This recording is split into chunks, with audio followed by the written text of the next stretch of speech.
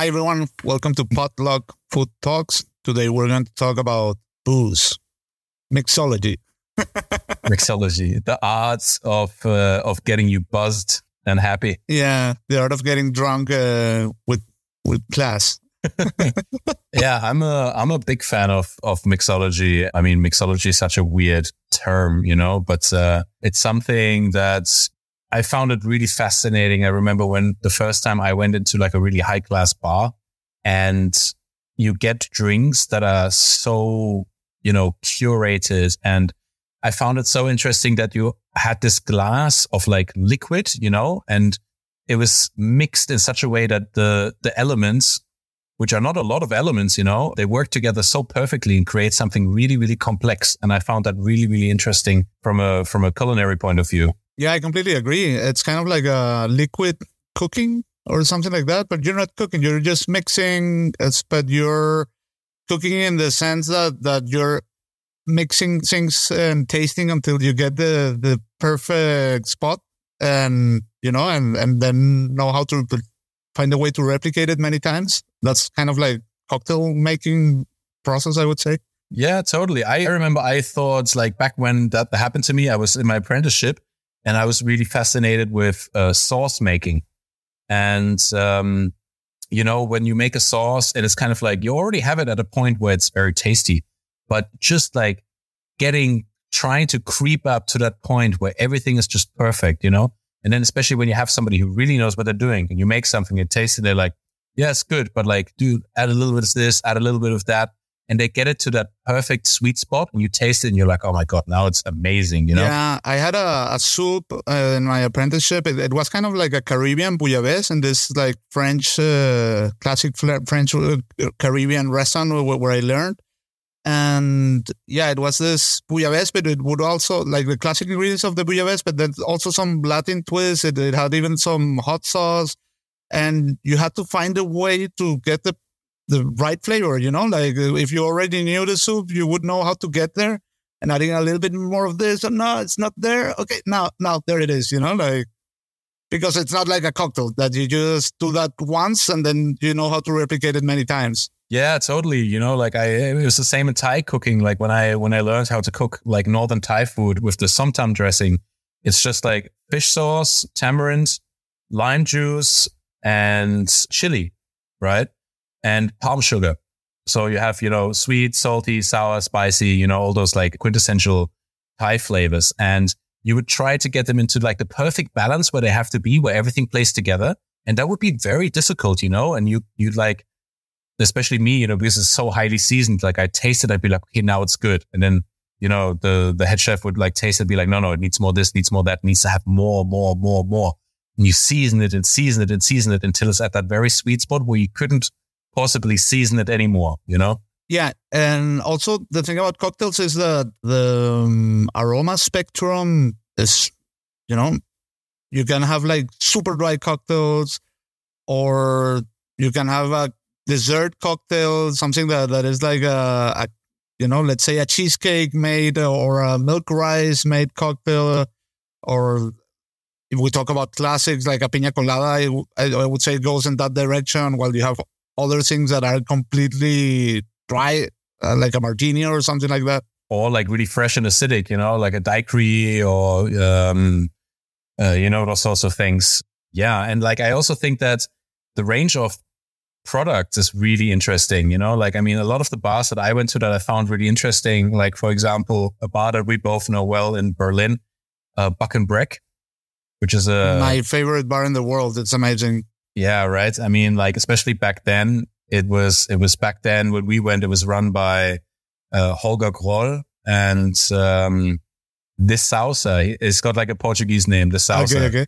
Sorry if I'm sorry if I'm pronouncing it wrong. Man, I, I love that place because the whole experience of going to that place. Uh, so to tell the story that imagine you're walking in Berlin and there is just like a door in the middle of nowhere uh, with a ring, and you have to know that the, the, there is a bar. So you you ring the bell, and and if you're like the right amount of people or whatever, you get in, and it's just a bar with what ten seats, something like that.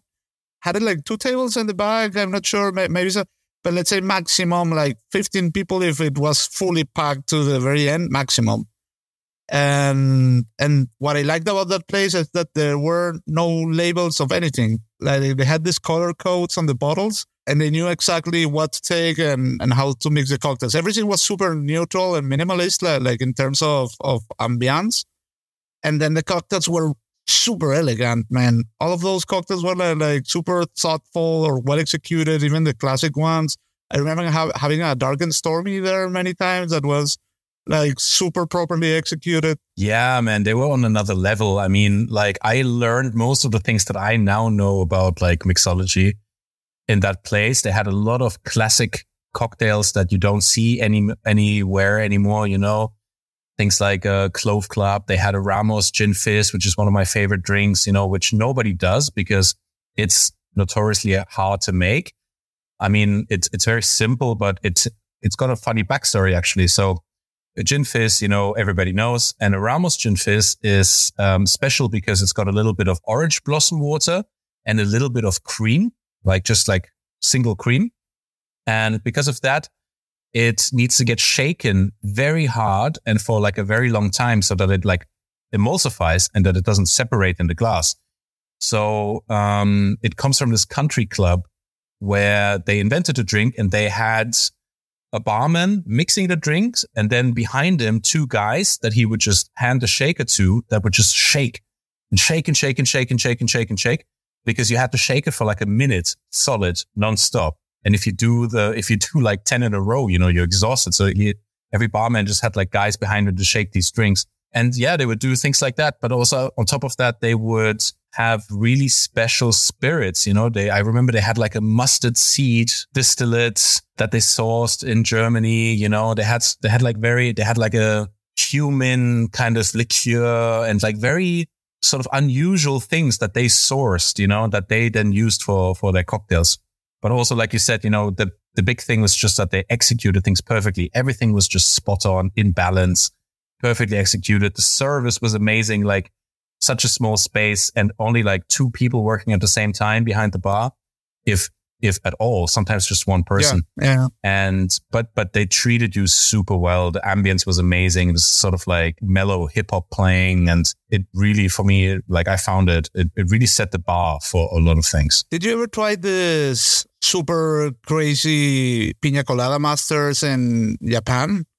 You know what I'm talking about? No.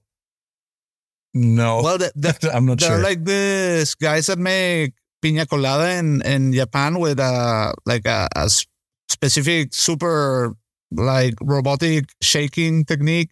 And it, it's like this big thing. It's like I think the, the the most expensive pina colada in the world by the greatest pina colada master. And it's like yeah, I think I saw this in a Mind of a Chef episode. Like David Chang was tra- traveling in Tokyo and visiting this place. Yeah, I, I- I've definitely seen it. But I mean, like, you know, pina colada is a great example of like a drink that, like, usually when you order it, it's just really horrible. You get like canned fucking coconuts, cream. Canned everything. canned, Yeah, canned pineapples and canned everything. everything. And it's like super sweet and like, you know, rum and blah. And it's horrible. it's like creamy and that. But if you get, you know, fresh coconut water or fresh coconut cream, you know, and like fresh juiced pineapple, that stuff's delicious, you know, and then you have a high quality rum and you mix that together. It's, it's an amazing drink. Yeah, I've had nice pina coladas mainly in Venezuela, and it was it was quite something having a super good one. Uh, I, have, I have good memories of that. Yeah. But I'm not surprised that Japan is on such a forefront of mixology because this like aspect of kind of like getting things to perfection and also the gesture of things, you know, the mixing, because the mixing is very important. You know, you have to think that why do you mix a cocktail with ice? It's sort of like it's to cool it down, obviously, but also to dilute it, you know, like um, if you would just mix, like for example, take a Negroni, right? You can of course just mix equal parts of Campari, red vermouth, and gin, and just mix that together and put it in a glass. But it's not going to be the same. It's going to be very brutal, and like stirring it um, in in a in a glass, you know, with the ice, it cools it down, but it also dil- like dilutes the alcohol with the water from the melting ice and getting it to the perfect point where it's right at that sweet spot where it's alcoholic enough, but like not too watery, not too strong. That's that's really heavy, and that's what like I think like the Japanese mentality, this sort of shokunin mentality, that fits perfectly. I've been to some amazing bars in Japan. I mean, one really good example is a place called Gen Yamamoto, which also is um, it's just one guy behind a counter with this sort of kaiseki attitude to cocktails. It's seasonal cocktails. You basically you have like a omakase cocktail tasting. Nice. And he yeah, and it like it uh, focuses on regional produce and seasonal produce. You know, so fruits and vegetables and uh, herbs and other ingredients that kind of like are in season at that moment. And then, you know, he presents it, you know, most of the time with something natural, kind of like, um, akin to ikebana. Ikebana is the, the art of flower arranging in Japan. So you have the drink and something that's a reference to what's in the drink next to it. And it's a super beautiful oh, experience. Oh, nice. nice. I know Ikebana and, and I've seen this kind of Ikebana interactions in food but not not with drinks. That's amazing. Yeah, yeah, for sure. Like a, a cool bar where I, I, was running a lab in in a restaurant in Bolivia, and this restaurant part of the concept was not to use only Bolivian ingredients, and you know this this was cool, especially at the bar because they, they wouldn't use any kind of foreign liquors nor soft drinks, and so not Coca Cola was not allowed or this kind of drinks, you know? So everything was like, uh, it was very organic driven, like making uh, bitters or all kind of kombuchas or fresh juices or all this kind of stuff, uh, infusions and so on. And there was like this, this guy, his name is Josue Grajeda.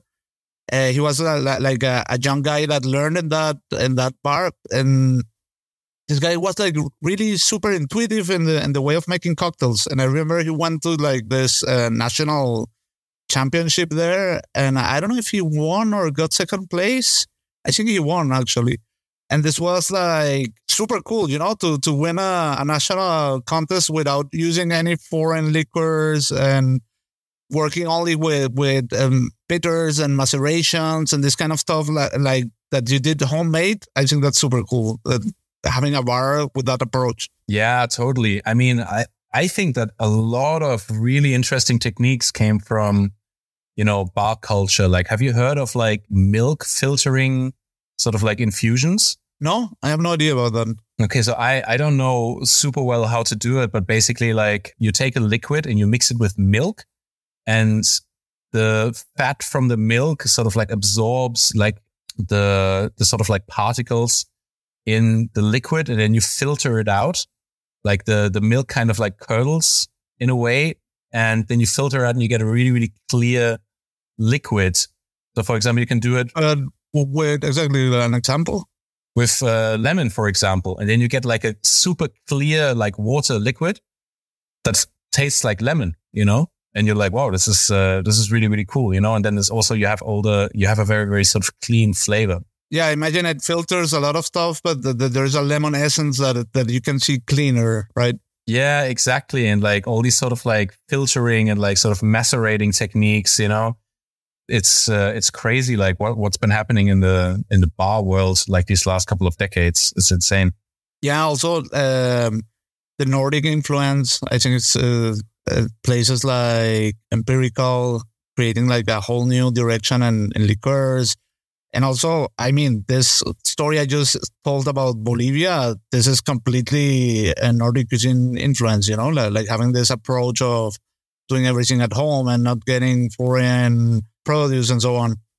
Do you have any favorite mixologists or bartenders or someone you you would like to mention? Um, I mean, I I'm a big fan of Charles Schumann. You know, the classic Charles Schumann. I mean, he's a if if nobody knows if you don't know Charles Schumann because of his work in, you know, gastronomy, then maybe you know him as a model for Davidoff and, uh, and whatnot. He's a very, he's a style icon, you know, but he's a, he's a guy, he's based in Bavaria in Munich and he, his bar called Schumann's Bar has been around forever. And he wrote, um, this sort of like cocktail companion uh, called also Schumann's where he basically lists all the classic cocktails and how to make them and he's just like he's basically like the Eckart Witzigmann or the the Paul Bocuse of uh, of mixology. Yeah, like worldwide. he's a not, he's not only in Germany. Worldwide. Yeah. Worldwide, yeah. But um, he's also just like I, I also like him just because he's such a character. I met him when I was in Japan. Like I remember I was at this really, really nice bar uh, called Bar Trench. This run by uh, Rogerio Igarashi. And it's also this like small neighborhood bar in Ebisu. Um, super, super nice. And it was uh, the Tokyo Bar Convention. And we were at this bar, you know, with lots of mix- mixologists, you know, people from Hendrick's Gin and that sort of stuff. And Charles Schumann pulls up in a taxi outside of the bar and he gets out of the taxi wearing a completely sort of like wine red suit, you know, with his like gray hair slicked back. And he walked into the bar and he's kind of like, you know, this sort of like this like advertisement, the most important man in the world. Yeah, like a, like know? a living God walking on earth and, and knowing it, you know, like yeah, you know, kind of like a little bit of a beard, gray hair, you know, like nice suit, and he's just sort of like the most charming guy you'll you'll ever meet. Uh, um, but he's just like super authentic, you know, and like he stands for these for these like old school principles of hospitality and you know things, simple things done well. And I I really dig that. I really like that. That's it for this week's episode of Potluck Food Talks. If you like what we're doing, make sure to subscribe to the podcast so you never miss an episode. You can also find us on Instagram and TikTok as Potluck Food Talks. The show airs every Monday.